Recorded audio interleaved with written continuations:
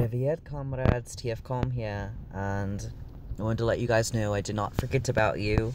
I tried to make a video last night um, to make it up to you guys. I actually played a game and everything. And of course, um, about an hour in, I realized uh,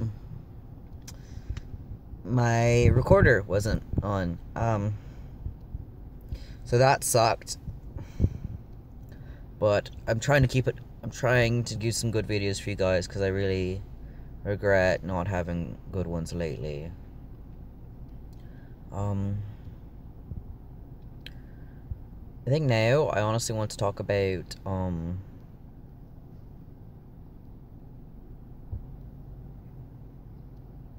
I do know what I want to talk about. I have a lot of things planned in my head, but most of them will take more time than my phone can record but um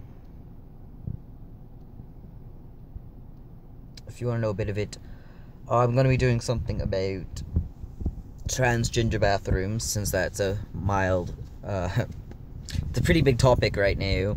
It's gotten a little better but now with um, the new law in Tyler Texas um, I feel that it needs to be brought up again. North Carolina is repealing their law which is amazing.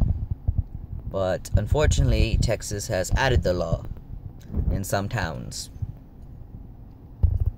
All of Texas? Possibly. I haven't really kept up with all of Texas, but we'll see how that goes. But North Carolina realized they fucked up. Uh, they got no stars to visit, no one wants to come. A lot of factories took their places out of there. A lot of main stores like Target completely got rid of their companies in the state and they realized no matter what your opinions are on it, you fucked up business wise. So, if you want to make any money whatsoever, you're going to have to open it back up, repeal the law, and I don't know what day it'll officially be repealed. They've already voted, I just don't know what day it's going to be enacted.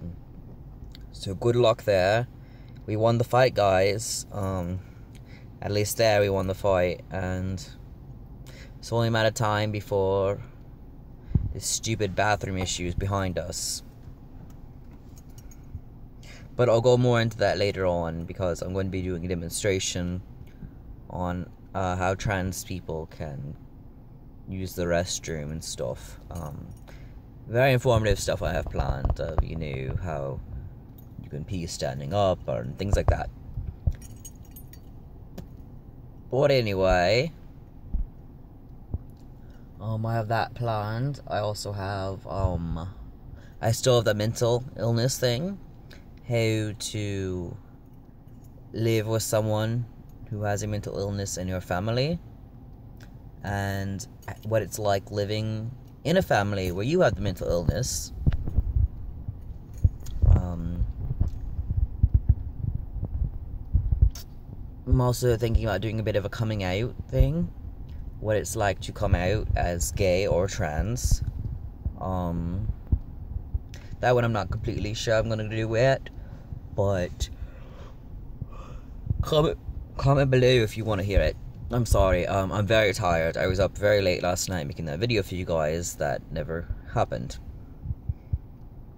And I know it does seem like I'm slacking on my channel because I used to do a video or two a day, and now I'm doing every other day or so, and I really, really am trying to get back to doing it how I used to do it. It's just a lot harder now with work and stuff, and sometimes, ugh, sorry, sometimes I forget to record one, um, because I used to have it all planned out a certain way, of certain times to do them and that's more difficult when um my work schedule's kind of jumping all over the place. So my regular plans don't work. And then i get home and i'm so tired i pretty much pass out. But i'm gonna try to fix that obviously.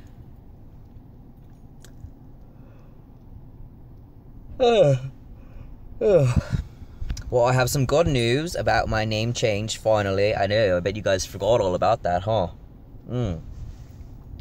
The doctor has officially wrote me my letter proving that I am on testosterone, which was a requirement to have your name and gender changed. Um, now all I need is for my lawyer to contact me because that takes forever, obviously. And oh. Once that's finally done, then I can officially change my name. It will. It was supposed to be officially finished by February, but as it is now,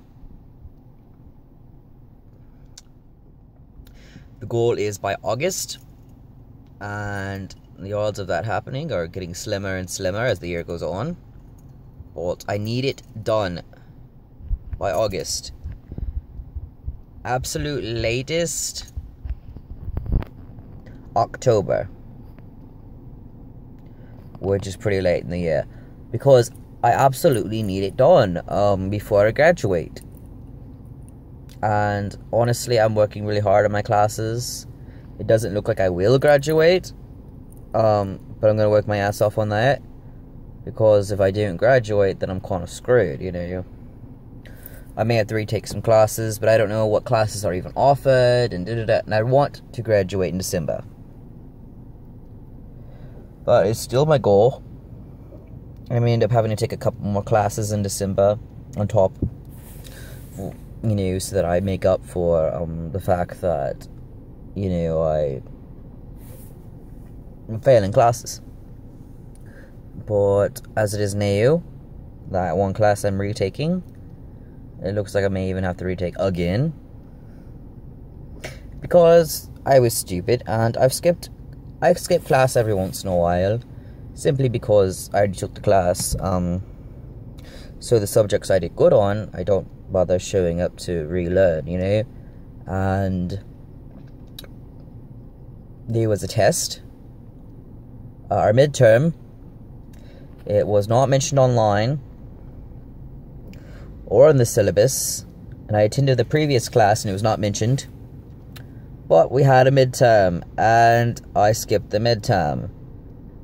And the policy you cannot repeat a test unless you ask before you miss it, or like text your teacher.